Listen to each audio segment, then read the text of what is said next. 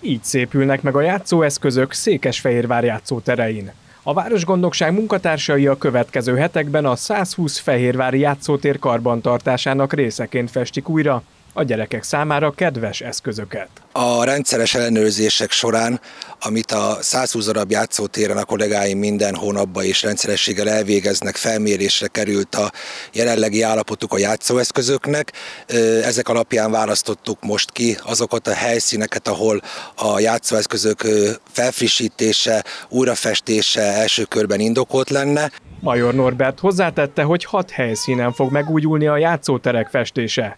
A szakemberek kedden a Haleszligetben kezdték meg a munkálatokat, ezt fogja követni a Rádiótelep, a Palotavárosi Központi Park, a Mura utca 1, a Lehel utca parkerdő és a Donát utca. Összesen körülbelül 60 játszóeszköz kap új festést.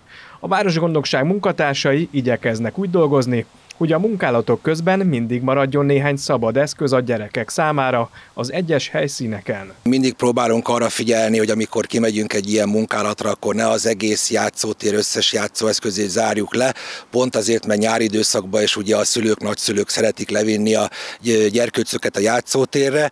Mindegyik játszótérnél úgy próbáljuk és úgy is ütemezzük ezeket a festési munkákat, hogy egy-két játszóeszköz zárunk csak le, annak a festése megtörténik, száradás idejét megvárjuk, és akkor utána oldjuk fel a zárás alól, és zárjuk a következőt is így szépen haladunk sorjába.